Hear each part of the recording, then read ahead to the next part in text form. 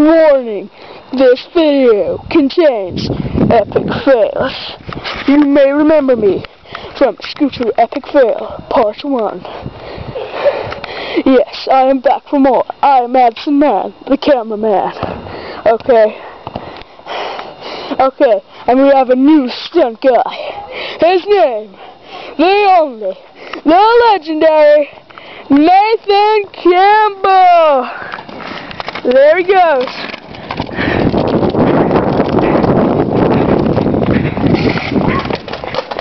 Oh God, he's crashed!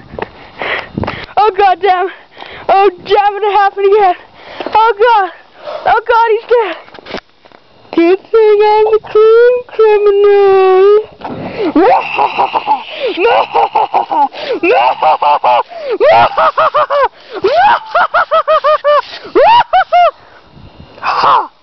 Damn you,